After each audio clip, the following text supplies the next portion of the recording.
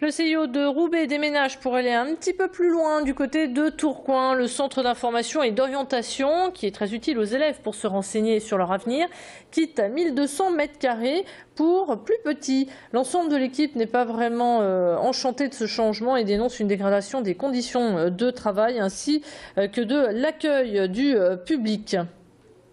Rappelons que les CIO ont fusionné en 2010. Le Conseil général s'étant retiré, la gestion est aujourd'hui assurée par l'État. Aujourd'hui, la crainte est de voir ce service de proximité disparaître au profit d'Internet. Le CIO de Roubaix est le 12e à fermer en l'espace de trois ans. Le directeur Joël Capon nous a fait part de son inquiétude au micro de Macha Grunesed.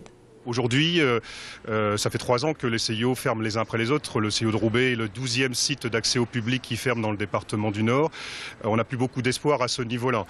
Peut-être ça pourrait être compensé par des campagnes de communication massives sur les bienfaits des CIO et des conseillers d'orientation pour que la population puisse connaître ce service et, s'y rendre. il y aurait peut-être un moyen de, de compenser la fermeture de lieux physiques par une campagne massive de communication. Je ne sais pas si on peut l'espérer, mais en tout cas, on pense que ce serait une bonne chose.